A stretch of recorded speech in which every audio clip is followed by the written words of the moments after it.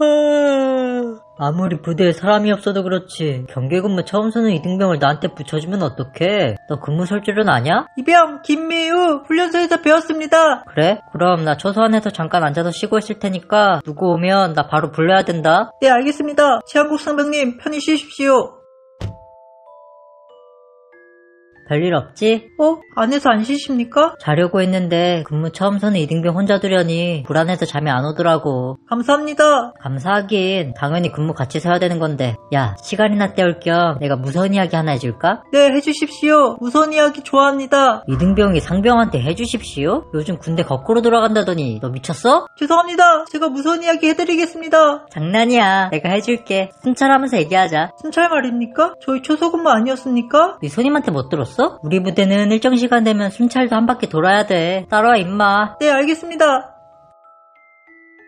너 군대에 귀신 많다는 얘기 들어본 적 있지? 사회 있을 때 군대 관련 괴담들 많이 들어봤습니다. 그럼 우리 부대에도 무서운 괴담 하나 있는 거 알아? 저 정말입니까? 일명 아재 개그 귀신이라고 불리는데 지금같이 늦은 밤에 부대 안에서 혼자 있는 사람한테 나타나서 아재 개그로 웃겨보라고 한대. 아재 개그면 아저씨들이 하는 썰렁한 개그 아닙니까? 왜 하필 아재 개그입니까? 아재 개그 귀신에는 안 좋은 사연이 있는데 지금으로부터 20년 전의 일이야. 우리 부대에 아재 개그를 엄청 좋아하는 고석진이라는 일병이 있었어. 그런데 이 고석진 일병이 아재 개그를 너무 좋아하는 나머지 매일 선임들한테 아재 개그를 했다는 거야. 햄버거의 색깔은 버건디, 숫자 5가 가장 싫어하는 집은 오페라하우스, 컬이 정색하면 검정색. 처음에는 선임들도 이런 고석진 일병을 귀엽게 봐줬대. 나름 선임들에게 잘 보이려고 하는 것 같으니까 말이야. 그런데 이게 매일 계속되니까 점점 듣기가 싫어졌나봐. 하루는 선임들이 더 이상 아재 개그 하지 말라고 경고를 했다는 거야. 하지만 고석진 일병은 그런 경고를 무시하고 실없는 아재 개그를 계속했대. 결국 참다 참다 폭발해버린 선임들은 고석진 일병이 버릇을 단단히 고쳐주려고 작전 을 짰지. 선임들이 주말에 날을 잡고서 부대 외곽에 있는 폐창고로 고석진 일병을 끌고 간 거야. 그러고선 고석진 일병을 창고 안으로 집어넣고 밖에서 문을 잠가버렸어. 당연히 고석진 일병은 내보내달라고 애원했지. 문 좀 열어주십시오. 너무 무섭고 어둡습니다. 하지만 선임들은 열어주지 않았어. 오히려 고석진 일병의 버릇을 고쳐주기 위해 조건을 걸었지. 고석진, 네가 그렇게 아재 개그를 좋아하면 진짜 재밌는 아재 개그로 우리를 웃겨봐. 그러면 창고문 열어줄게. 아 닙니다. 다시는 아재 개그 같은 거 안 하겠습니다. 문좀 열어주십시오. 저 폐소공포증이 있습니다.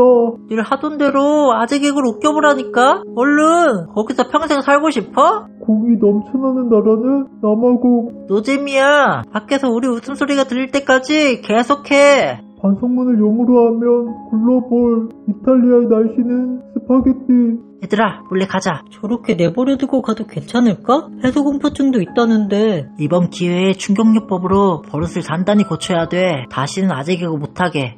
초밥이 이에 끼면 ESC. 새를 무서워하는 곳은 새무서. 너무 어둡습니다. 문 좀 열어주십시오. 제가 잘못했습니다.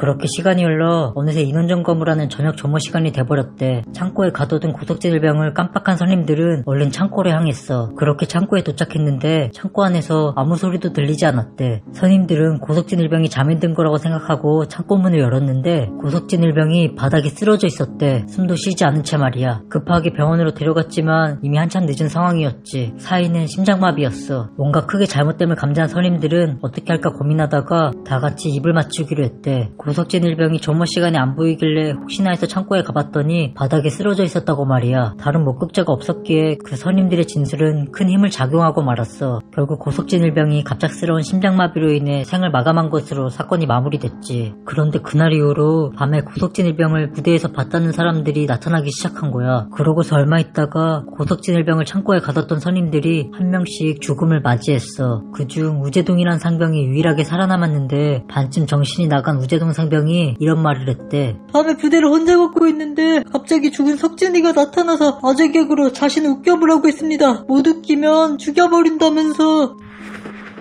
그 뒤로 우리 부대에 고석진 일병 귀신이 밤마다 부대에 혼자 있는 사람에게 나타나 아재 개그를 시켜서 웃기면 살려주고 못 웃기면 사람을 홀리게 만든 다음 스스로 목숨을 끊게 한다는 괴담이 생겼어. 우리 부대 괴담 무섭지? 고석진 일병이 안타까우면서도 무섭습니다. 그런데 다른 선임들은 다 죽여놓고 우재동 상병만 살려준 게 의문입니다. 그건 우재동 상병이 아재 개그로 나를 웃겼기 때문이야. 잘못 들었습니다. 우재동 상병이 최한국 상병님을 웃겼다는 게 무슨 말씀이십니까? 사실 지금까지 너한테 한 얘기가 내 얘기거든. 너는 아재 개그 좋아해? 최한국 상병님 갑자기 왜 그러십니까? 내가 아직도 아직도 최한국으로 보이니? 누, 누구세요? 내가 누구긴 밤마다 부대에 혼자 있는 사람에게 나타나 아재 개그를 시키는 고석진이지. 너 마침 혼자네?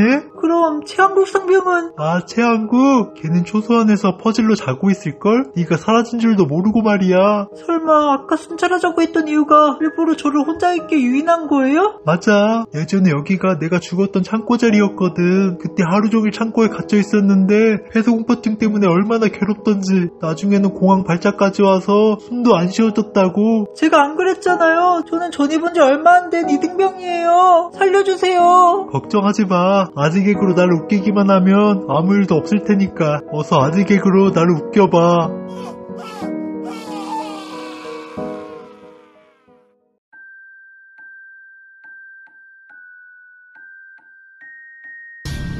어? 지금 저랑 눈 마주치신 분 혼자 계시네요?